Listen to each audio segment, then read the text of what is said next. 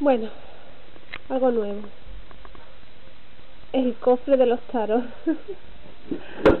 Está roto, es que se me han se me ha soltado de perder todos los tornillos, así que no lo puedo arreglar. Bueno. Tenemos runas hechas por mí con una capita de barniz para que no se borren, preciosa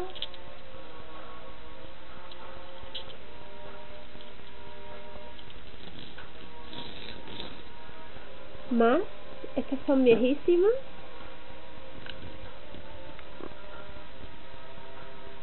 Hechas con, con una rama de higuera. Lo primero vamos. Bueno lo segundo que tuve puede decirse están tan viejas que está la madera ya consumida tiene como se ha hundido y todo de lo viejas que están. Viejísimas pero son muy bonitas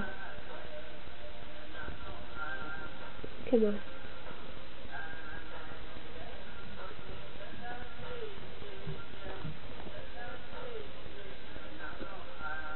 Aquí está mi tarot Reader White. Este es el que más uso, es fantástico. Muy fácil de comprender, muy intuitivo. El más usado por todo el mundo porque es el más fácil.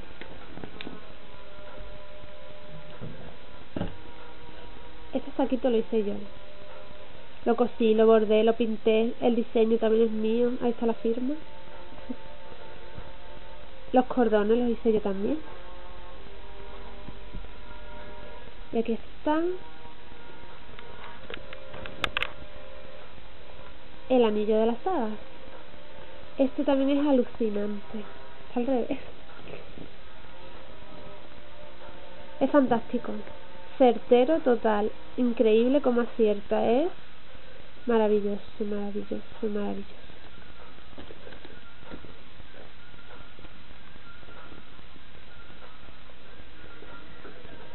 Aquí hay un péndulo viejo hecho a mano.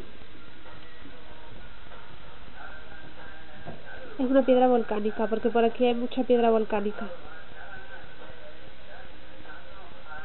Algunos se preguntarán por qué, pero es que al parecer había un volcán que estalló y no sé qué, es historia muy antigua. Y eso dio lugar al estrecho de Gibraltar o algo así, por eso hay tanta piedra volcánica.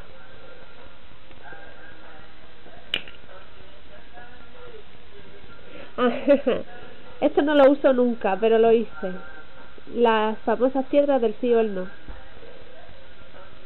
A ver. Se trata de una piedra blanca y una piedra negra.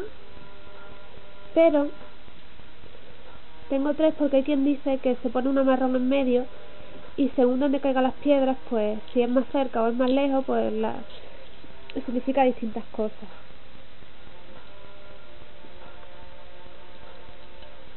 Estas son cartas de los ángeles, de un libro que compré. Se escriben los mensajes, también mensajes que tú te inventas, y luego se sacan. Y está muy bien.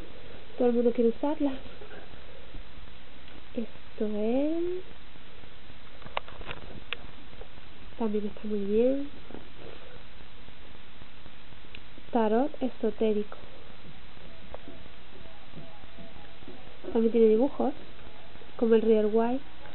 Es como unos dibujos así como estilo medieval, un poco bestias.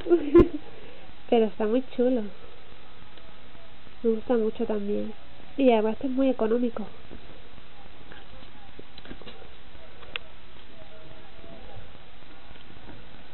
Bien. ¿Qué más? Aquí está un tarot egipcio de los miles de cientos de clases que hay. Aquí tenemos uno. No lo uso nunca. Esto es como todo, los colecciono pero no los uso nada más que uno o dos. Yo siempre el anillo de la jada o el Reader A ver.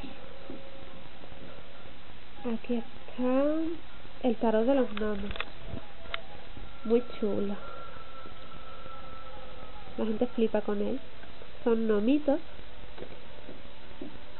Muy bonitos.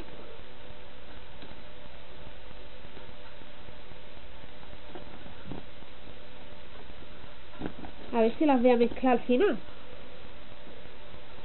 Bueno, este es muy guay, pero es muy raro de entender. Este sí que no lo uso porque es que es todo, al contrario, es una cosa rarísima. Es el tarot de Crowley. Es chulísimo, ¿eh? Las imágenes, pero es un cacao, es una cosa, no sé si es que no va bien conmigo o qué, pero no me funciona para nada. Ahora, son una pasada las imágenes. Fantástico. Con su funda que le hice y todo, muy bien.